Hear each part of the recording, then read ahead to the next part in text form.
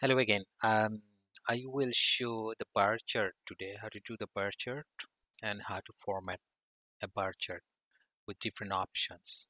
So I'm using the IMF data population for different countries and I'm going to do a bar chart on this. All right, so how you do it is you select the data, which you can do it quickly by pressing Control and A I, I'll just you know scroll down to see if I have selected everything. Then I go to insert and to click this uh, click this and you can choose any one of them.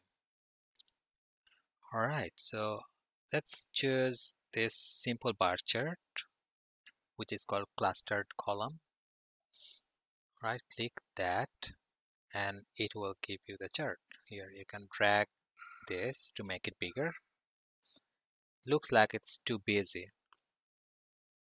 So what I would do is I would change the data source to a smaller set so it'll be more visible. Say for example we want some top 20 countries. All right so how you do it is click on the chart click on click on design and click on this select data.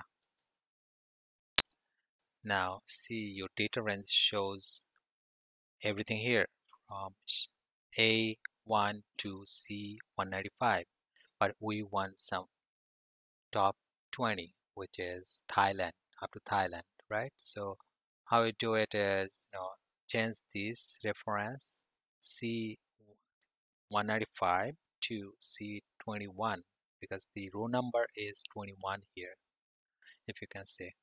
And then click OK. Uh, okay so one more thing is it's also showing the rank in the chart but we don't want that rank.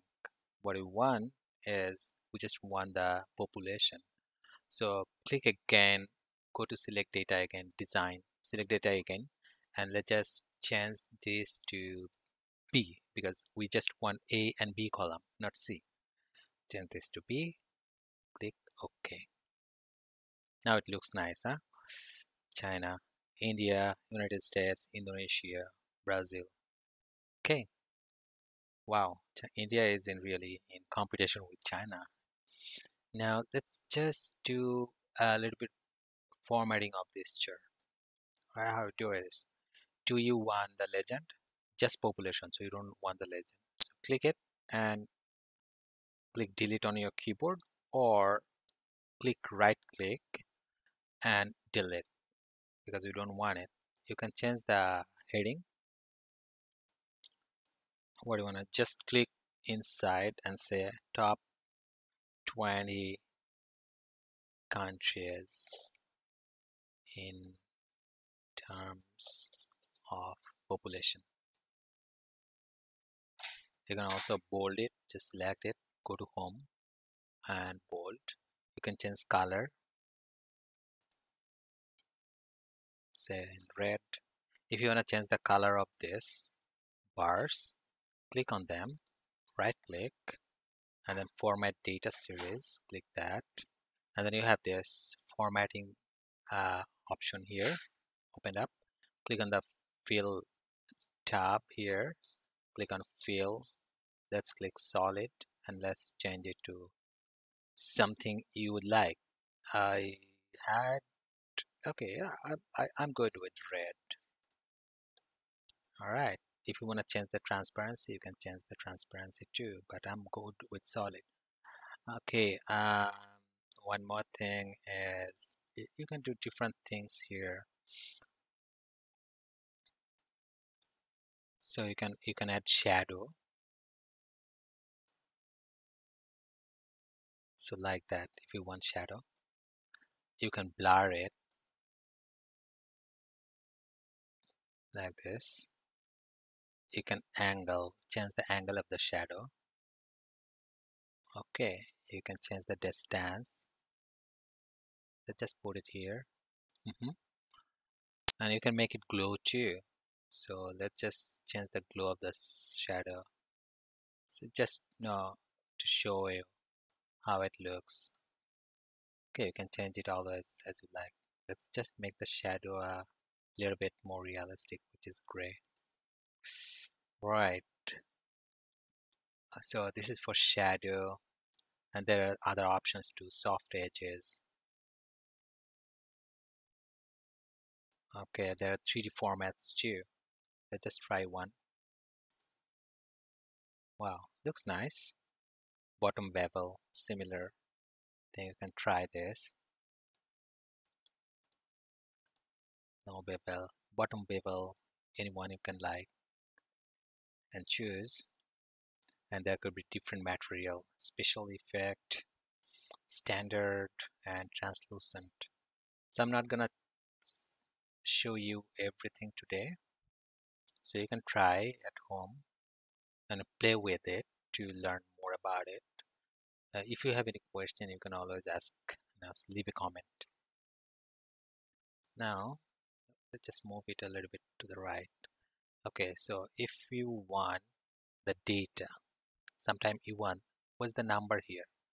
How do you bring the number? So it's easy. Click the click the click the chart go to design click add chart element. There are many things you can add from here. So what I want is the data label. Okay you can put it in center you can put it inside and inside base outside and data callout. Let's just put it in inside center for now or maybe there are some smaller bars so let's just put it uh, outside. I think that's better. That's how you have the data label. What else you can add is you can add axis titles. So that's just to vertical axis. What are these numbers? What is 1400 or 800 it's not clear. So let's just put axis. So million this is millions of people right? So let's just try writing it here. Millions people. And this is obvious that this is the name of the countries so don't bother with that. Don't don't worry about changing the horizontal axis title. Let's see what else you have. You have data table I'll not put data table in here. Error bars no. Grid line. Yeah sometimes you like grid line sometimes you don't. Legends wouldn't need legend here. Trend line wouldn't need trend line. There are quick layouts too. So you can just if you are in a rush you can choose one of those quick designs to make your chart quickly. Or I'm not gonna change it okay there are colors too different colors you can choose you know change the colors.